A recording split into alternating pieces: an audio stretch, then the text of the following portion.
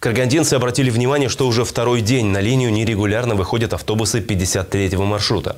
В чем причина перебоев в движении, выясняла наш корреспондент.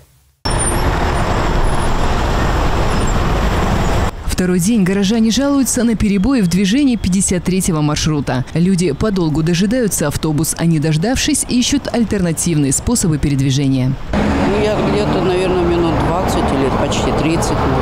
Нету, да? Нету. А И не будет. сегодня? Вчера, говорят, тоже не было. И сегодня вот нет. Когда ждем 25-30 минут ждем. Сегодня не было, да? Да. А вчера мы, например, 30 минут ждали ее. Да. Ну, как думаете, почему вот Ну, связана да, дорога, наверное, ремонт, на за это, наверное, так думаю. Не знаю, ездит он, ездит, не видела. Вчера тоже не, не дождалась. 23-м уехала.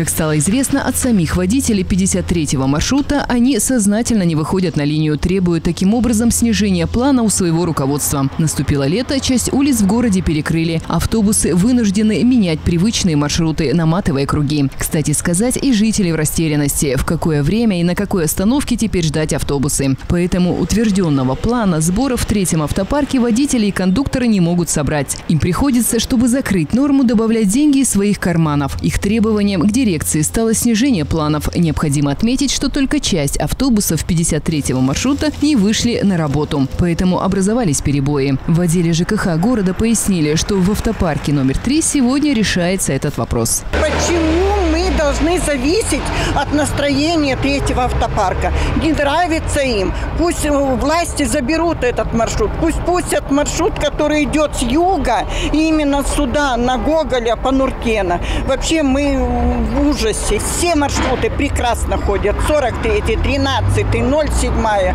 145. А мы, мы зависим от настроения руководства. Вот это прям призыв к населению, чтобы обратиться к властям. Ирина Вабищевич, Жанайдар Рахимжанов, Равиль Валеев, Пятый канал.